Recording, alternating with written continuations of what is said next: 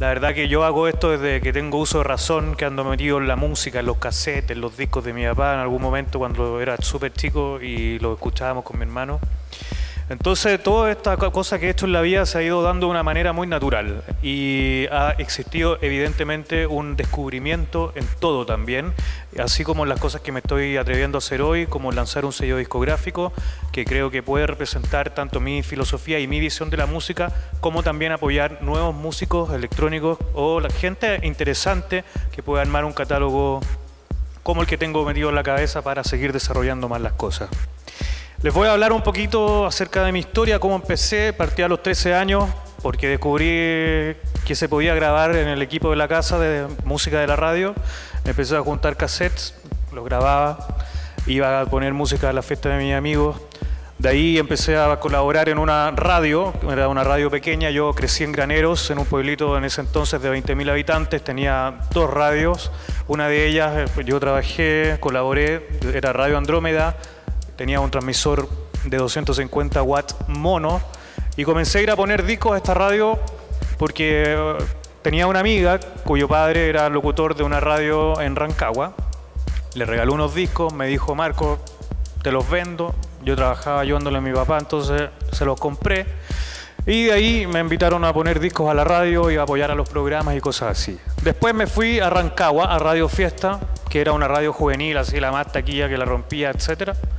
Después me fui a Radio Power, que también era de Rancagua. Todo esto pasó antes de que yo saliera del colegio y me vine a Santiago a estudiar comunicación audiovisual, acá a la Universidad UNIAC, porque era una universidad que era, digamos, reunía muchas disciplinas y yo tenía una mente muy abierta, digamos, como para hacer un montón de cosas. Entonces sentí que esta carrera me podía dar el abanico de cosas que yo necesitaba aprender para desarrollar hacía muchas cosas, pero realmente no estaba haciendo lo que, lo que me llenaba el corazón.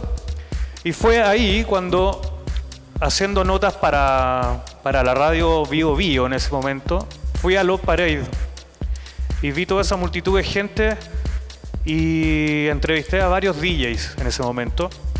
Y fue tal la energía que sentí que esa tarde yo dije, aquí está, Guardo todos mis discos antiguos y me meto en la música del futuro, que es la música que hago hoy, que es techno y house, que además incorpora elementos de la naturaleza, eh, instrumentos orgánicos, y ahí se me ha abierto todo un mundo.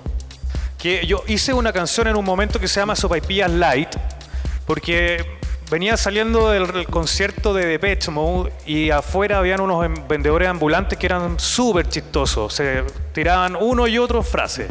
Uno vendía soy pia light y el otro vendía sándwiches de potito. Entonces era tan chistoso que yo los grabé a estos gallos con el celular.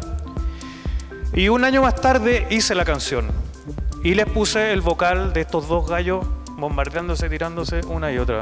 Y fue un éxito. Concursé, imagínense, tres veces en un concurso de DJs y productores organizado por una norteamericana que viaja por todo el mundo en el barco de la paz. Ella hace una fiesta que se llaman Parties for Peace. La primera no gané. La segunda pude haber ganado, no gané. Y la tercera fue la vencida y me fui a Tokio.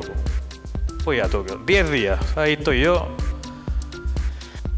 Y este es mi sello, Storm Records, que nace como una respuesta, un poco como una búsqueda mía personal de poder mostrar más mis cosas, porque he hecho mucha música que solo la he hecho sin pensar en nada, es música que he sentido, me enseñé, me encerré cuatro años a hacer música, eh, autodidacta, con el tiempo estudiando. Pero Storm Records es como la música de autor, la música que no queda en ninguna parte en el fondo, pero sí tiene algo que decir y algo que transmitirle a la gente. Entonces esta es la portada del disco número uno, que se llama Alegría, Alegría, que es una canción que a mí personalmente me produjo cuando la hice muchísimas cosas. Además de hacer los máster y todo, está el tema de la promoción, que es que nosotros hacemos una base de datos con los artistas que estimamos pertinentes y le enviamos el disco para que lo escuchen, lo descarguen y nos envíen sus feedbacks. Estos son algunos de las fiestas que yo he participado en Chile y en en el mundo, digamos.